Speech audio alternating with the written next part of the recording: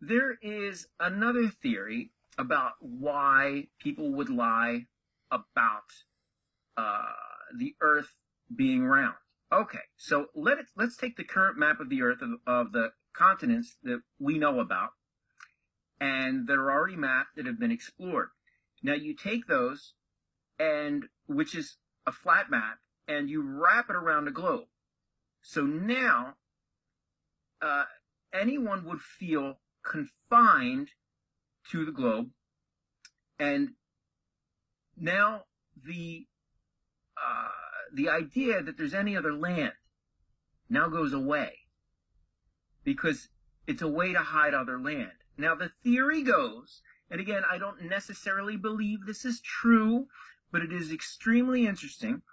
The theory goes that if you no longer confine yourself to a globe where there is a limited amount of land, and you keep traveling in all directions, there's more land. Now, there the the, the theory goes that there is um, out of the range of the sun, there is a lot of ice, which collectively becomes Antarctica, right? Um, and but if you get beyond the ice, there are other suns and there is other moons and there is other land masses, and the land is infinite it keeps going. There are more trees, there are more resources, there is more coal, there is more gold, there are more animals.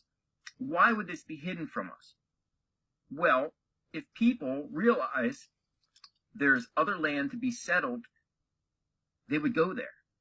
And they would no longer be under the tight fist of a global government. Now, that is very interesting